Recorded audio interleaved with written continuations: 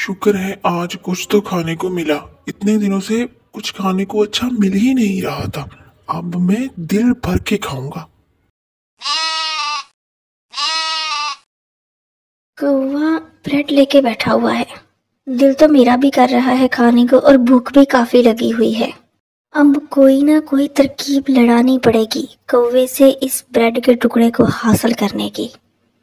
कौवे भैया कौवे भैया मुझे पता चला कि आप बहुत अच्छा उड़ते हैं। बहुत सारे जानवरों ने आपकी तारीफ़ की थी।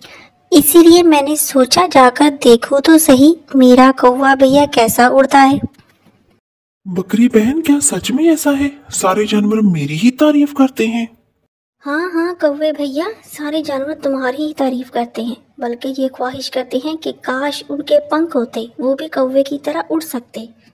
बहुत बहुत शुक्रिया बकरी बहन।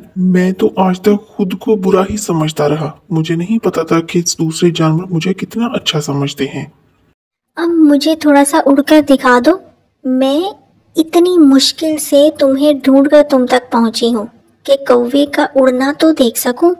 ये भी कोई बात है बकरी बहन? देखना मैं अभी उड़कर आपको दिखाता हूँ। आपकी जो ख्वाहिश है मुझे उड़ता देखना आपकी वो ख्वाहिश मैं ज़रूर पूरी करूँगा।